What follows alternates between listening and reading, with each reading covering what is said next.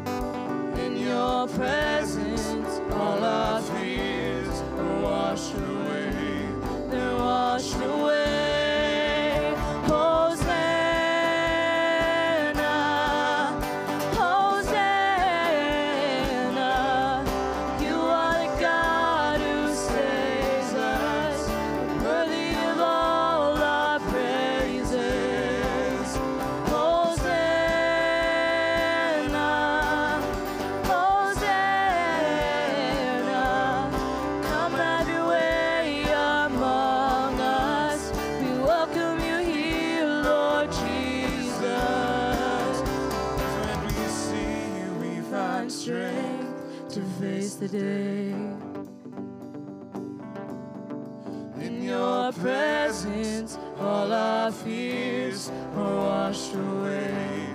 They're washed away.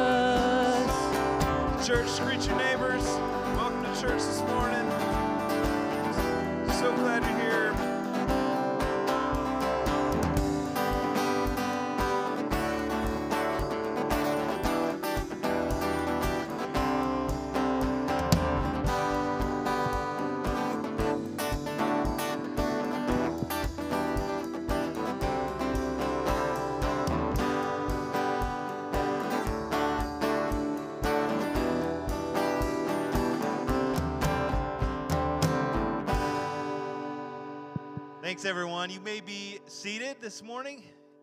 Welcome to our first service today on September 11th. We're so glad that you're here. My name is Josh. I'm one of the pastors here, and I have an entire book of announcements. So, are you ready? Are you ready for this? Yes. Excited for announcements. Hey, I'm glad that you're you're with us this morning. And you may have seen as you entered in that we have a little display in the lobby, and I'm wearing a little sticker on my shirt. And I want to talk about that in just a moment. But you know what today is? Today is the first day that we're starting up our second service at 11 o'clock. So, are you, are you coming? to the second as well? Okay, I thought maybe it's so good you come to the second. I know, I love Andrew's worship leading too, so that's great. Um, there's a couple of things I want to make uh, just to your attention. There's in the seat in front of you, there's a couple of flyers, and one of them is a small group launch page. And if you would like to be a part of a small group this fall, I would encourage you to read through that, see what small groups are being offered this fall, and if you would like to participate in one of those, there is a little place that you can sign your information. And this is the deal. Here's the deal. If you do that, make sure you put that in one of the offering boxes that are uh, situated around the room here in the sanctuary or in the lobby as well. So fill that out if you would like to be a part of a small group. Also, there's a, a flyer about our parenting class that's being offered as a small group elective. Now, I don't know about you, but as a parent myself, I need as much help as I can get.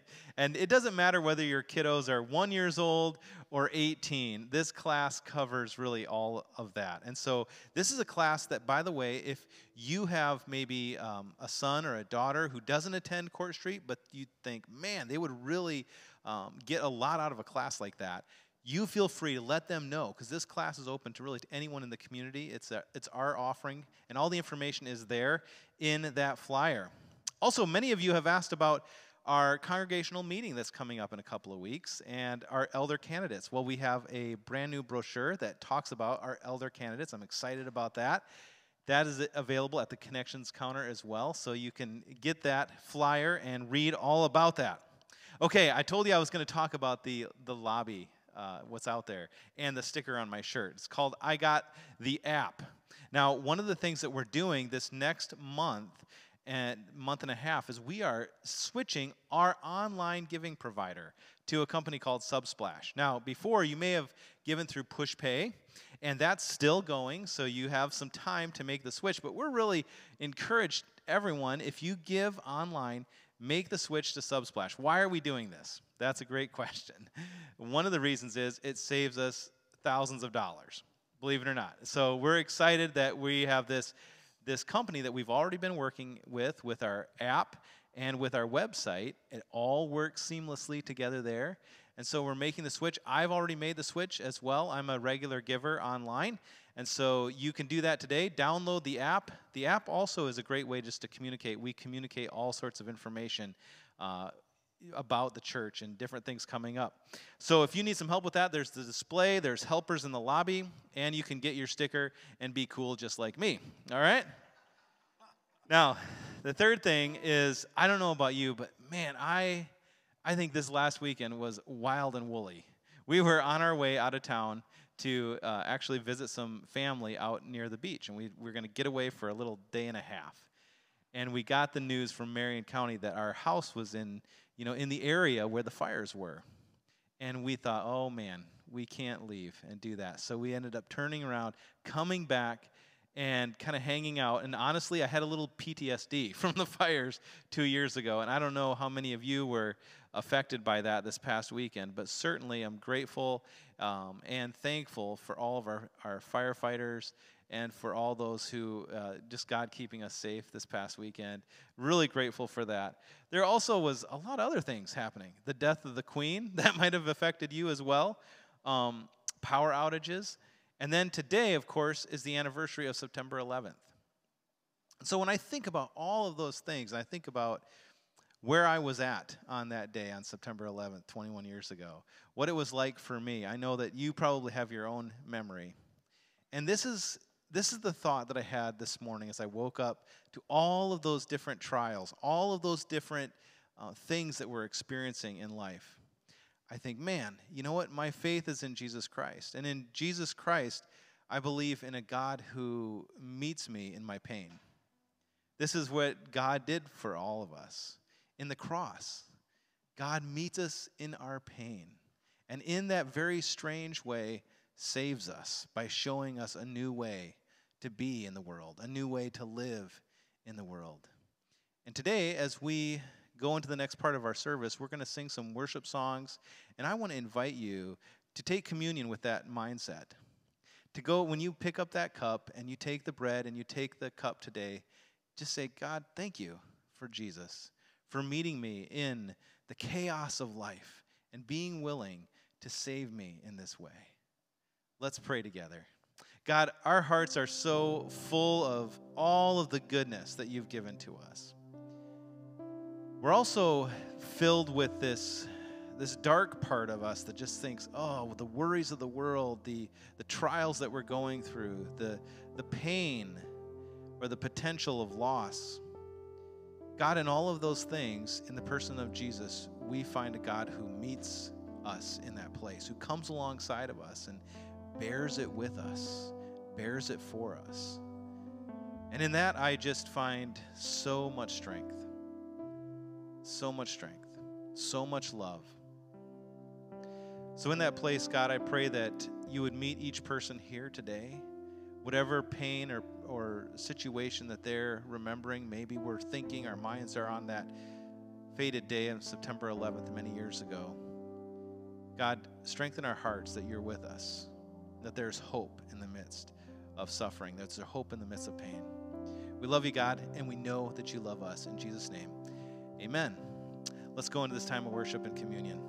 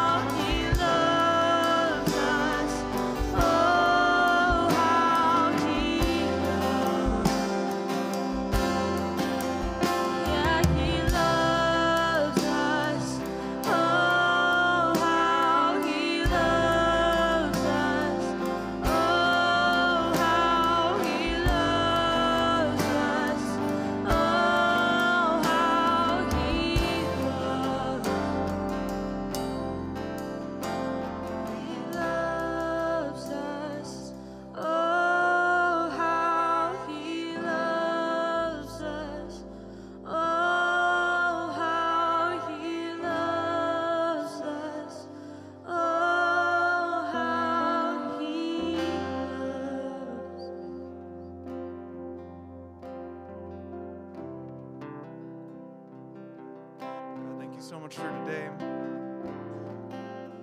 and for loving us, even though we've got all these things um, that hold us back and we think about. And it's important that you're the one who comes to us, you're the one who came down, and you just want us in your life. And I thank you so much for that today, God.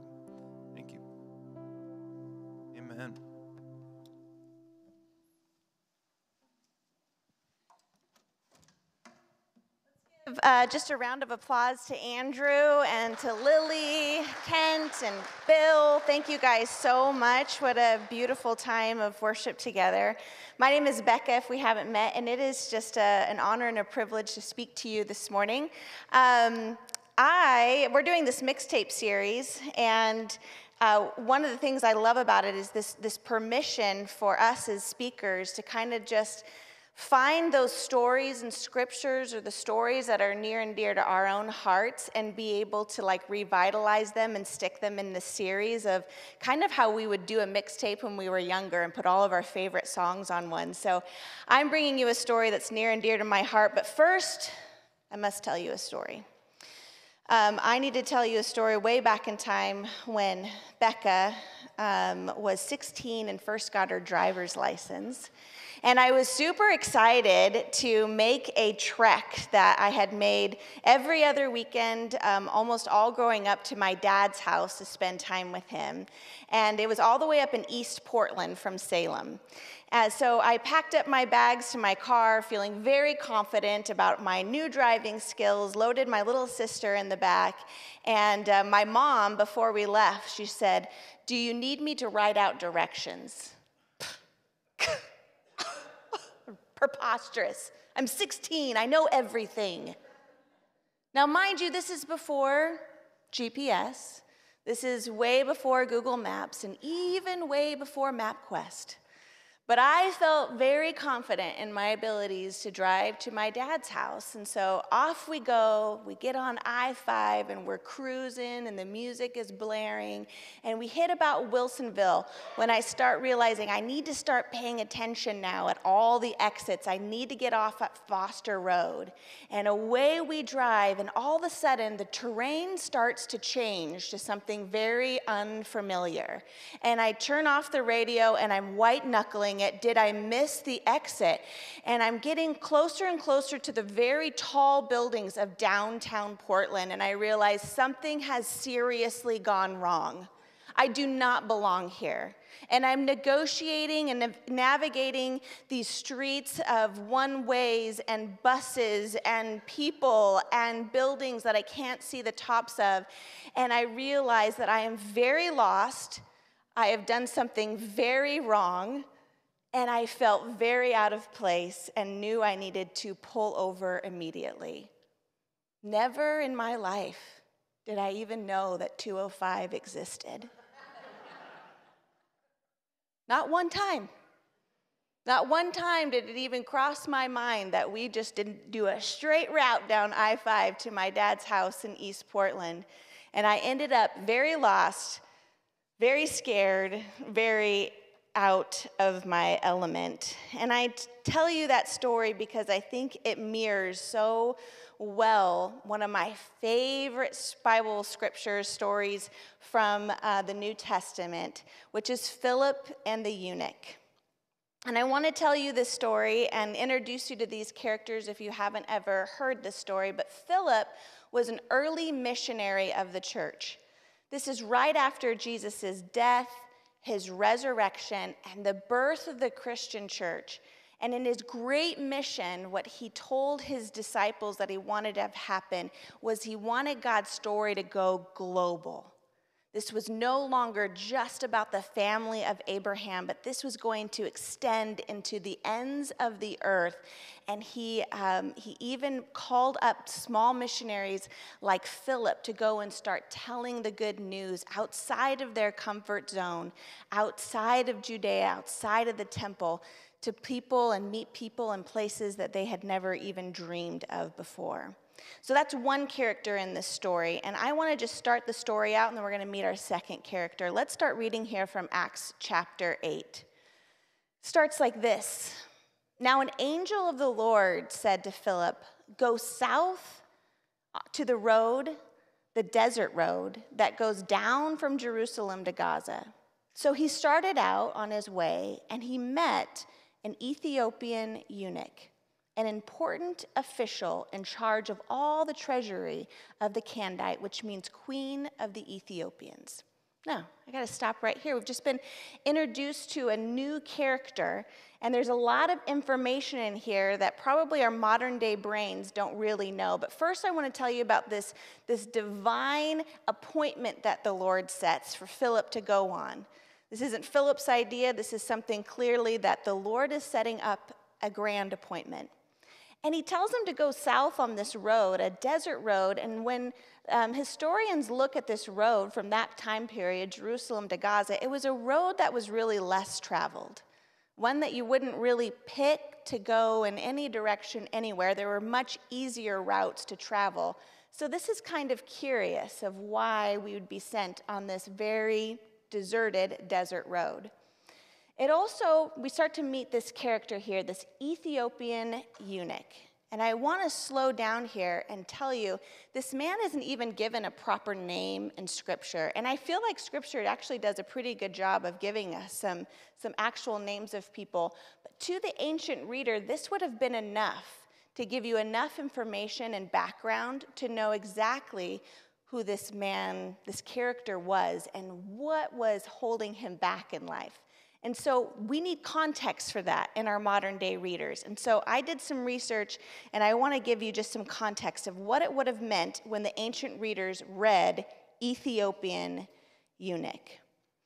So, in simple terms, this would have been someone who would have been an outsider to the Jewish faith in almost every, every way.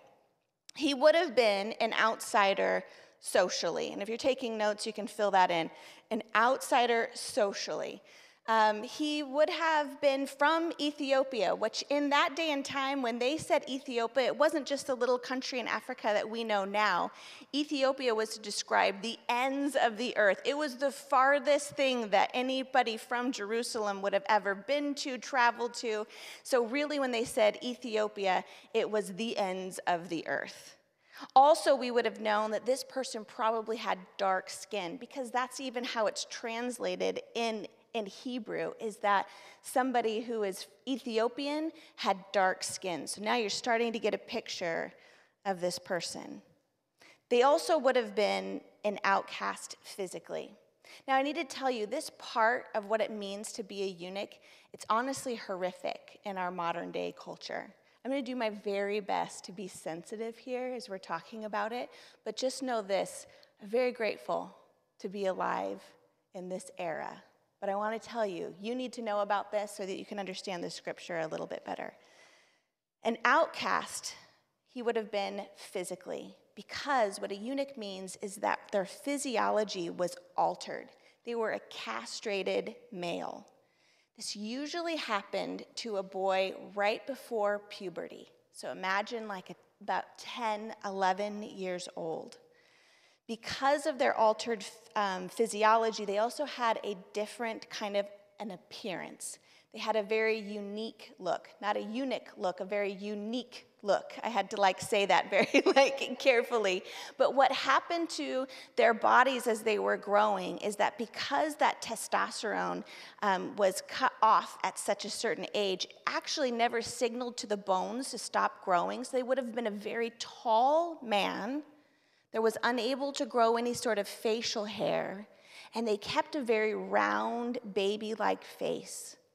And so when you saw a man who was a eunuch out in public, you could have recognized him just by the way that they looked. So this man was an outcast, even physically. This man was also an outcast emotionally. One of the reasons he was a eunuch is a lot of times families back then that needed to pay off a great debt or wanted to raise their family status socially, they would sell one of their young sons into this kind of slavery. And this would be done to one of their young sons, and they would be sold usually into a royal household. Now, the royals, including this Ethiopian queen that he was serving, they would have absolutely, they wanted slaves like this because they weren't any threat to the queen or the princesses that they could um, taint the bloodline, that they said. And so they felt like they were safe men to have surrounding the queen to ensure that no heirs would come um, in any way from that union. And so families would sell off their young boy for a very high price to go and to in service of the queen but have this their physiology altered in that way Also, an outcast emotionally because when they left their families and became a eunuch, they had to cut all ties from their family. They couldn't keep their last name. Any of those lineages that you see that was so important to that culture, all of that would have been erased. They would have been a person with no family heritage, no background, and they had no way of contacting their old family once they were sold into slavery. You can imagine the emotional effects that would have had on a person. Also, this person would have been an outcast spiritually. They would have been excluded from the Jewish temple worship. There's an obscure verse in Deuteronomy that talks ex- explicitly about the eunuch and how, because this happened to them, they were not allowed into temple worship, which would have excluded them spiritually. They also were obviously unable to have a legacy okay? So they were unable to have children of their own, which in that time especially would have been something that would have carried their life and their legacy and their name on to the future. And for a lot of them, they didn't even believe in the afterlife. Your children were your afterlife. Your children were the people that continued all of those things and gave you something to be proud of once you were gone. And so that was also taken away from the eunuch. I say all of this because this man, in that simple description, an Ethiopian eunuch, he understood what it was like to be an outsider in all of those ways of life, all those crucial ways that we all need to feel like we are a, a human that has value socially, emotionally, physically, spiritually this eunuch embodied the very essence of an outsider. And I want to pause here just for a moment from that story, and I want to connect you to your own journey just a bit because we, as, as humans, we know that we have an experience, we've all had an experience where we don't belong. In one of those categories or another, there's something in your life that when you read about this man, that there's something tender that it points out something in your life. And, and maybe it's because after your messy divorce, your friendship has never looked the same with your friendship circle. Or, or perhaps it's at work, you just feel so ostracized and you've never been invited to do anything socially outside of work with your, with your coworkers. Or maybe it's a deep wound from your own childhood, a message that you got when you were a small child that still lives with you, that just there's a part of you somewhere that, that identifies with this eunuch because you feel like you're an outsider. And I think it's, it's tender, but I also just want to invite you here this morning because I think that this story has something to offer you in your healing. And I'm glad you're here.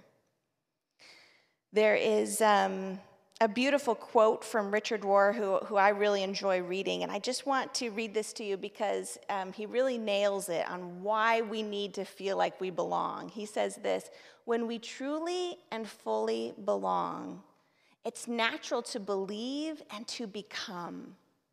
The tragedy of our time is that so very many do not belong. People who have no parents, no family, no community, no tradition. It's no wonder that survival has taken the place of becoming. When true love is all that is necessary, it tells us we do belong, we are connected, and we are at home. And for us in this room, our, our true love is Jesus. And I'm excited to show you this story and I want to reconnect you, whatever that wound is in your own life where you feel like an outsider, that you don't belong. I want this story to start to heal us.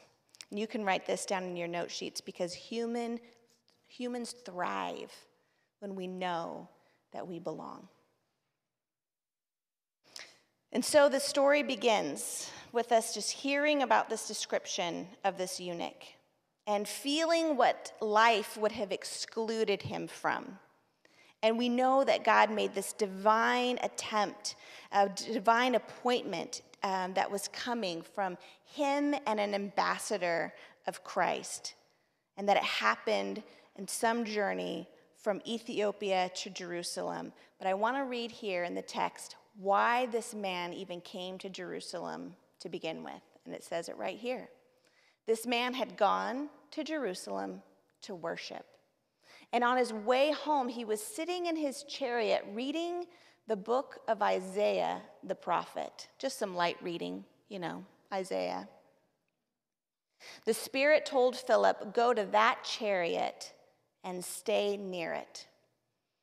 And so this is such an interesting description right here. It's, it's packed full of stuff. Um, this man, this eunuch, he went to Jerusalem to worship, but we know he wasn't even allowed in the temple, given what he looked like, given what he had been through, given his experience. But he went anyway.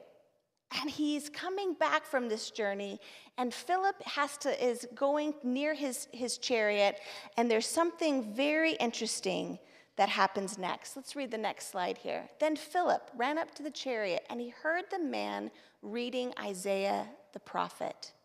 Do you understand what you're reading? Philip asked. How can I? He said, unless someone explains it to me. So he invited Philip to come up and sit with him. This would have been a really normal thing to do when you were reading scripture. First of all, it didn't come chapter and verse and bound in our Bibles today, but it came in scrolls, which is so interesting. My, my imagination goes wild of, of why this eunuch had the scroll of Isaiah already, but he's reading it, and how they would read the scripture was not to themselves, but always aloud. It helped memorize the scripture. So here he is reading out Isaiah, and Philip overhears him asks him if he knows what he's reading. Perhaps that question of what he was reading was the thing that drew him to Israel, to, to Jerusalem in the first place. But he's heading back home and he's telling Philip, I still don't have the answers that I'm looking for. I still don't have the answers that I'm looking for. And it seems to me that this man came quite a long time to get these answers. And so what is so fascinating is that scripture even records exactly what he was reading. Do you guys want to hear it? So good. All right, let's keep reading then. This is the passage of scripture that the eunuch was reading. So remember, Isaiah is written 700 years before Jesus came. is written by a prophet who had an amazing description of who the Messiah was, who was coming to save us and what he was coming to save us from. And this is what the eunuch read He was led like a sheep to the slaughter, and as a lamb before its shearer is silent, so he did not open his mouth. In his humiliation, he was deprived of justice. Who can speak of his descendants? For his life was taken from the earth. Goes on to say this then the eunuch asked Philip, Tell me, please, who is the prophet talking about, himself or someone else? And this is such a, a profound question that the eunuch is asking Who was this man? I've heard rumors that he's come, and Philip is able to answer his questions. This is the best guess that I can have of why he had this particular question. And I love, um, I love this fact.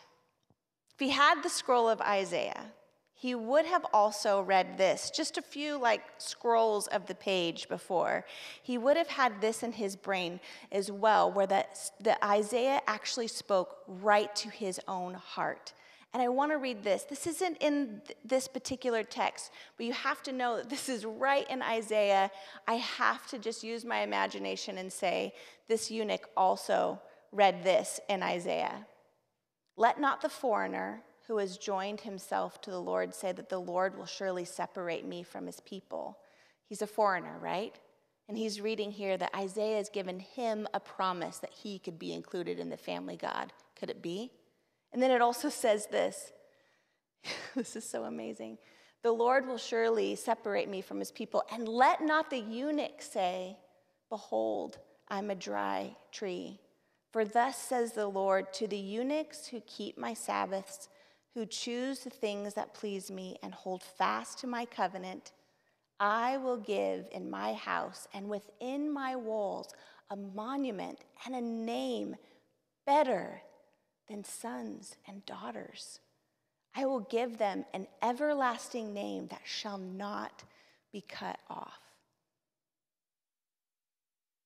I can't help but know that this man had read these promises from Isaiah that spoke directly to his heart. And he came all the way from his land to Jerusalem to say, Has this been fulfilled? Am I welcome? But he was turning around and going back without answers. But God had made a divine appointment and sent an ambassador to him. I can't imagine the hope that he must have had in him when he read that and he thought, could it be true that God was making a way for him to belong and have something even better than sons and daughters? Something so permanent that could never be taken away from him. That would compel me to go on a long journey and find out the truth. Let's go back to our story back in Acts 8. This is how Philip responded. Then Philip opened his mouth and he began with this scripture and he told him the good news about Jesus. And as they were going along the road, they came to some water, and the eunuch said, See, here is water. What prevents me from getting baptized? Another great question. Another great question. And it's a question that Philip had new insight on. Because before Philip met Jesus, he would have answered the question like this Well, you've got some strikes against you. See, you're not Jewish obviously. And the thing is is that if you're not Jewish, then we have some problems. And then of course there's that law in Deuteronomy that states you can't go to temple worship. So sorry Charlie, you're an outsider. Except Philip met Jesus and he heard the new message that Jesus came. And I'm using my imagination here, but Philip knew Jesus, and I can imagine that excitedly he told this precious man, Nothing, there is nothing that excludes you from being part of God's kingdom. Nothing you are born with, nothing that others did to you, not whether you're able to have children or not, not the condemning of another religious group, not the color of your skin, nothing. You are welcome in the family of God. This is the good news, this is the gospel. And this was the answer that the man came searching for. He was welcome in the family of God. Let's keep reading and see what happens. And he commanded the chariot to stop, and they both went down to the water, and Philip and the eunuch, and he baptized him. Right then and there. No waiting, no more questions. This is just a beautiful story that yet again just showcases the heart of God. The story of a divine appointment between the missionary Philip and the searching eunuch. And this is where, revisiting the story this week, this is where it kind of took me. I started thinking about that time when I was in downtown Portland, feeling uh, very lost, and this moment that I knew that my situation was just bigger than myself. I wasn't getting out of this one. And I needed my dad. I needed him. And I had to find a payphone. I needed to drive around till I could find a payphone, and then I had to find the emergency quarter that my mom would never leave, let me leave home with, and use my one phone call to make sure that my dad answered the phone. And when he answered the phone, I tearfully just said, I, am lost. And my dad said, Where are you at? And I said, I, I don't know. Um, I'm pretty sure I pulled over before I got to Canada. and he said, Well, I need you just to look around and tell me, tell me what you see, tell me what you know. And so I did the best I could. I found, you know, pulled the cord to see if I could read some street signs and describe the buildings that I was around. And I was just kind of waiting for him to give me the directions of how to get back home. And I was preparing myself to start retaining a bunch of information. Especially, I got nervous when anyone started talking north, south, east, west to me. I'm good at a lot of things, but that is not one of them for sure. And I was just kind of bracing myself, and my dad said the best thing he could have possibly said to me. He said, Stay there, I'm gonna come find you. That is the heart of God. It's the heart of God, and it's displayed in this beautiful story that God meets us where we are at. And He is a God that doesn't give us overly complicated directions to get to Him. But He says, I'll meet you where you are at. I'm going to come find you. And all you need to do is follow me home. And that is the story of Philip and the eunuch. God made a divine appointment for that man that outsider to make sure that he was included and he knew he was an insider. And it is the appointment that I know he is making, especially in every other human's life. It is his mission, it's been the mission of the church from the very, very beginning that we get to be ambassadors to make sure that the outsider knows that the message has changed. They are an insider now. We can even go back to that verse that we all know and love, John 3:16. For God so loved the world that he gave his one and only son that whoever believes in him shall not perish but have eternal life. For God did not send his son into the world to condemn the world, but to save the world through him. It's a huge reminder to us, church, that Jesus followers were taught that all are welcome to be part of the family of God. Fill that in on your note sheets. Jesus followers were taught that all are welcome to be part of the family of God. Here's some just questions that I started rifling off in my own head. You're welcome to join me in my self reflection here, but I started to ask myself who's the person or even a group of people that I just feel offended by? Like in my own heart, they are outsiders. And then I had to take a big deep breath and say, what am I doing to keeping them outside? And what's something I could do different to show them that I want them inside? It's honestly part of Christianity's great heritage that bridges the gap between those that feel far from God and those who want to be close to Him. That Christ made a way for this. And it is a real great tragedy when we miss it today. I also just want to say, and I have to say, that I know that there's people sitting here today that still feel like the eunuch and maybe even haven't like accepted uh, this great invitation to even be baptized and to be part of God's family. And maybe you don't even know that right here on stage, right behind me, we have this beautiful baptism. And when I think when the eunuch said, um, Here's the water, what's preventing me? I want you to know that with just a few little cranks of our wrist, water flows into that thing, and we can do that anytime. We can do it after this service if you want. Because I love the eunuch's like heart when he just said, I want it now.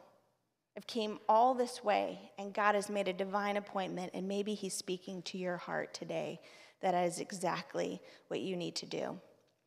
I want to close today with one more scripture. And uh, this is a beautiful one that's found in Galatians. This happens, happens a lot later after we meet Philip and the eunuch. And it's written by a guy named Paul.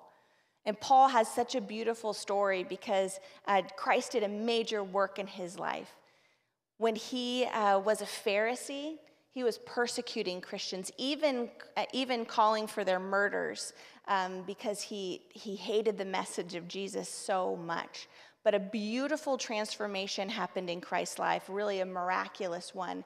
It happened so much that all of a sudden, as Paul worked so hard in his life to keep others outside and keep himself inside, transformation happened. And he wrote some really beautiful words in a sermon that he gave to the Galatians. And it's found in Galatians 3:26 through 29. I just want you to hear the trajectory of this man's heart. When you know where he came from, persecuting Christians, to this. He says this For now we are all children of God through faith in Jesus Christ. And we who have been baptized into union with Christ are enveloped by him. I love that word. We are no longer Jews or Greeks or slaves or free men or even merely men or women, but we are all the same. We are all Christians. We are all one in Christ Jesus. And now that we are Christ, we are the true descendants of Abraham. And all of God's promises to him belong to us. It's such a beautiful scripture that embodies what we saw the transformation of the eunuch happen in his life. This is good news. This is the belonging that Jesus unleashed into the world. And let us just be a church that proclaims that freely and joyfully to all. Will you bow your heads and hearts with me, please? Jesus, um, this story of this appointment that you made for a man that lived a life that um, was brutal that I can't even, um, I can't even imagine. That you cared about the least of these. It was one of the very first convents to Christianity that we found. And honestly, reading his story, it just, um, my heart just broke. And it continued to remind me of the people that have come into my life that um, I know they feel like outsiders. My heart is breaking for them as well. And God, I just uh, pray that in our interactions outside this place, that we are your ambassadors that constantly send that message. That we don't want the outsiders to feel like outsiders anymore. We want to represent this beautiful mission that you had for the world, that you loved us, all of us, the whole world. God, would you um, continue to meet us where we are at? Will you continue to just be that good father that comes to pick us up, and all we have to do is follow you home? In Jesus' name I pray. Amen. Church, it was really good to be with you this morning. Um, I just want to encourage you to Continue to be part of us by downloading our app. Make sure you know when we're having services, when we're having special events. Connect with us that way, and we have a lobby um, team out there to help you get set up with that if that is something that feels hard for you to do. So do that. Have a great week. God bless all of you.